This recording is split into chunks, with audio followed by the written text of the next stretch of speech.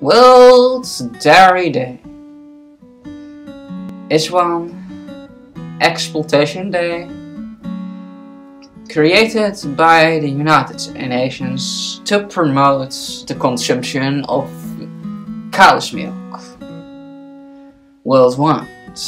Even cow's milk have absolutely no a little bit protection against osteoporosis. And actually cause more damage to your bones than it is good for you. This is created in 2001 and it should have to be abolished because it is not only detrimental for the environment dairy products cost uh, less harm to cows than meat because these cows have to be impregnated. Of course just like all other mammals. They take one object with with bull semen. The bulls their first um, masturbate. So that they get sperm from the bulls. And then they're forceful inseminate rape they're called artificial insemination. Cows and then after birth their baby is stolen away from them.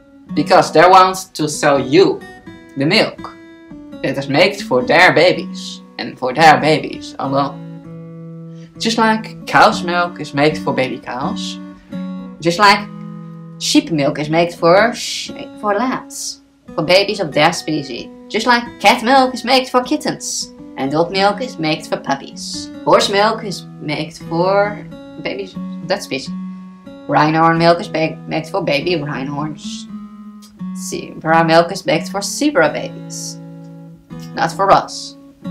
We are the only species that drink milk after they are an adult. And we don't need it to be healthy. That's obvious.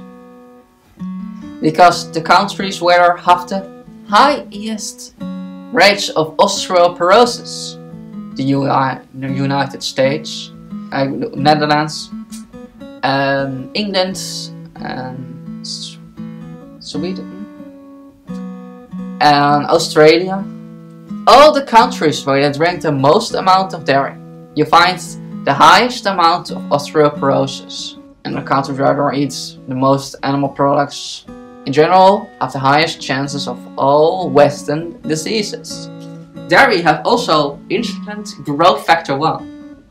This is one hormone that is in dairy of cows that help to grow cells. It's also one of the main culprits of breast cancer and ovarian cancer and pancreas and uh, pancreas cancer and prostate cancer cancer and, and some other forms of cancer.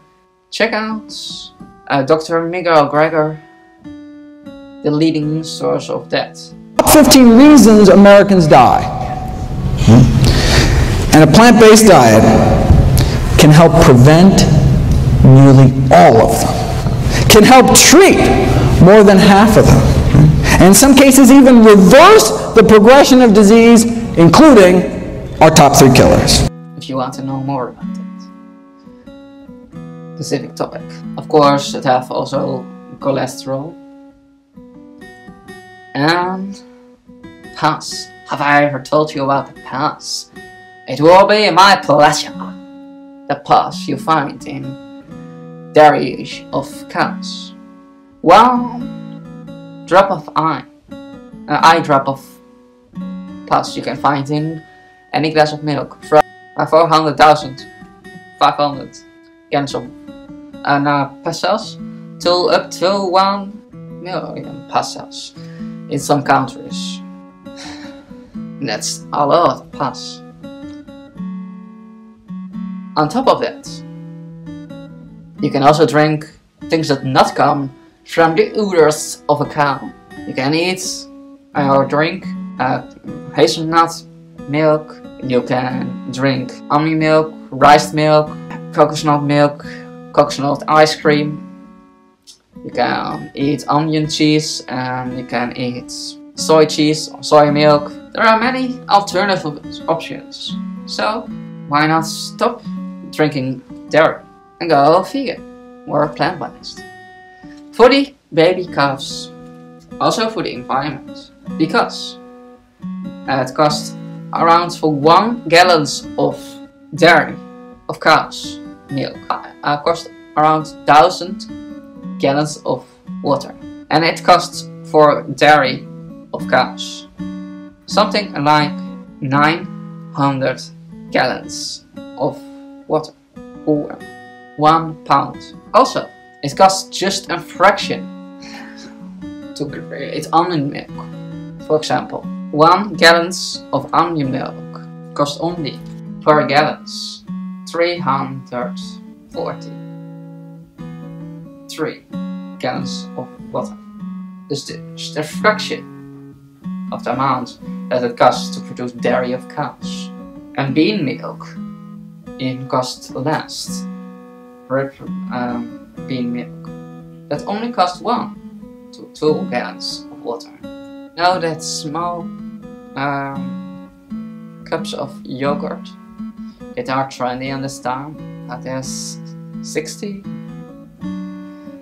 and uh, 90 gallons of water for just one ounce of yogurt. Onion yogurt, for that example, costs just like with dairy milk, just a fraction of the amount of water. You don't have to be Einstein to figure out this go vegan for the environment, for the animals, or for your health. Hashtag World Plant-Based Milk Day.